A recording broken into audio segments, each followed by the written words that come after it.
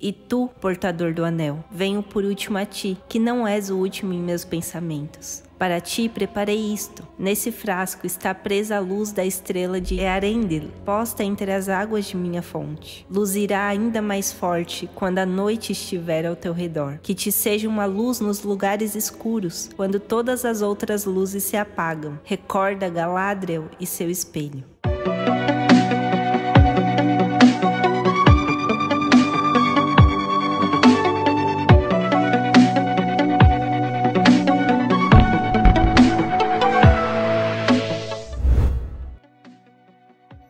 Sejam bem-vindos ao canal Bolseiro, fale amigo e entre. No vídeo de hoje conheceremos a história, as características e os poderes do frasco de Galadriel, também chamado de cristal de estrela ou vidro da senhora, e foi o presente que Galadriel concedeu a Frodo Bolseiro. Mas antes de tudo, se você ainda não se inscreveu no canal, deixe de ser troll e se inscreva agora mesmo, botãozinho vermelho aqui embaixo, já dá um joinha aí e clica no sininho para o YouTube te avisar quando sair vídeo novo. E como muitos sabem, temos um clube de membresia surreal com muitos benefícios. E para saber mais sobre os benefícios, clique no primeiro link da descrição. Eu quero te convidar a fazer parte da nossa Sociedade do Anel.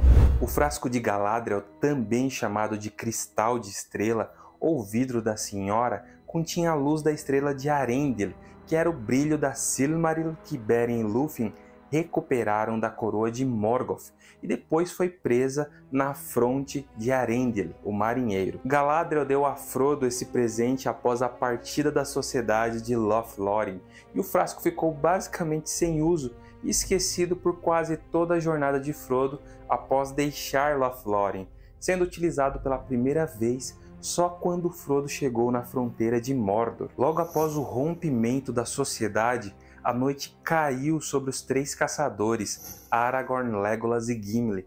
Então Gimli desejou que a senhora Galadriel tivesse dado a eles uma luz como a de Frodo, mas Aragorn observou que Frodo precisaria mais dela. E quando Frodo, Samwise Gamgee e Gollum se aproximaram das escadarias de Cirith Ungol, eles viram uma hoste de cavaleiros trajados de negro saindo do portão de Minas Morgul, liderados pelo Rei Bruxo, o líder dos espectros do Anel. Frodo foi dominado por pensamentos obscuros e pavor. Então o Rei Bruxo parou de súbito, como que sentindo o poder de um anel por perto. E Frodo foi conduzido por uma vontade de usar um anel e moveu a mão em direção a ele. Mas outra vontade moveu sua mão para outro objeto, para o frasco de Galadriel, que caíra no esquecimento. E quando Frodo tocou o objeto, o rei bruxo e sua hoste prosseguiram a marcha e os pensamentos ruins do Um Anel foram banidos da mente de Frodo nesse momento. Na manhã seguinte, Frodo usou o frasco novamente. Ele o guardou no peito e o segurou de encontro ao coração. Assim deixou para trás Minas Morgul. Aproveitando, galera, olha só quem está aparecendo aqui, o Gandalf do like. E a única coisa que o Gandalf está te lembrando é de deixar um joinha aí você não vai querer decepcionar o nosso velho amigo. Frodo voltou a usar o frasco de Galadriel para se defender dos ataques de Laracna.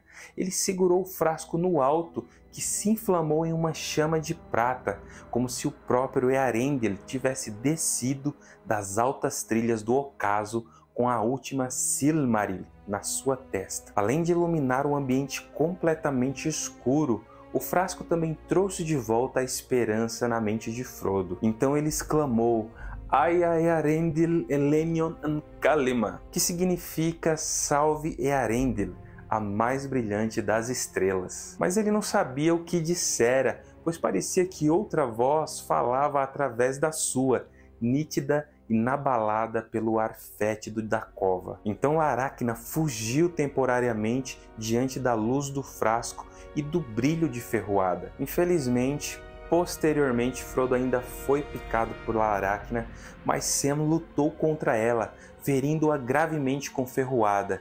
Entretanto, a aranha ainda intentou um último ataque a Sam, mas ela foi completamente derrotada quando o Hobbit, utilizando o frasco de Galadriel, clamou em alta voz a Elbereth.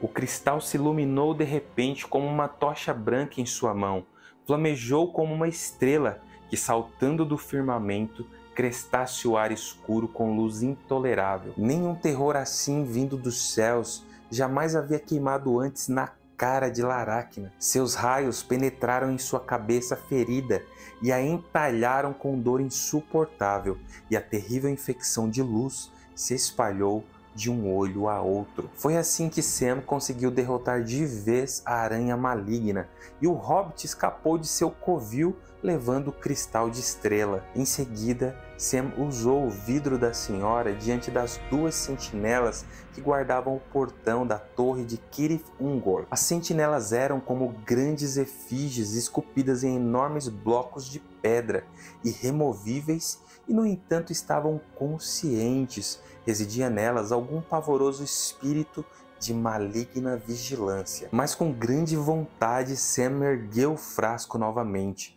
e conseguiu passar pelas sentinelas e pelo portão para resgatar Frodo. E depois, os dois hobbits usaram o cristal de estrela novamente para sair e passar pelas duas sentinelas. Sam também tentou usar a luz do frasco mais uma vez nas fendas da perdição, dentro do Monte da Perdição, onde um anel fora forjado e onde deveria ser destruído. Mas o frasco estava pálido e frio em sua mão trêmula, e não lançou luz naquela escuridão sufocante, pois Sam viera ao coração do reino de Sauron e nas forjas do seu antigo poder, as maiores da Terra-média. Todos os demais poderes estavam subjugados ali. Já quando partiu para as terras imortais, Frodo levou o frasco consigo, e a luz do vidro de Galadriel reluziu e se perdeu na distância conforme a nau avançava rumo ao oeste. E é isso, galera. O vídeo vai ficando por aqui. Eu espero que vocês tenham gostado.